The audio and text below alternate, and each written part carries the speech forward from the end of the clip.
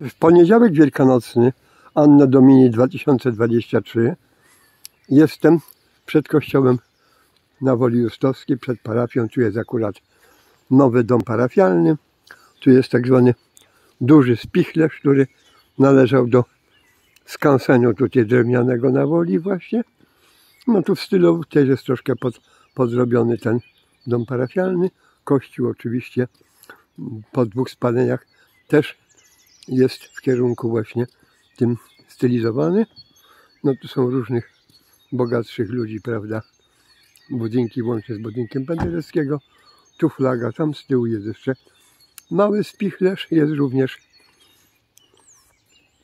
jest również da, dawny, dawna karczma przywieziona, która była z gór, która była po prostu tam ją widać, która była jak gdyby refektarzem, dopóki nie stanął tutaj ten nowy dom parafialny.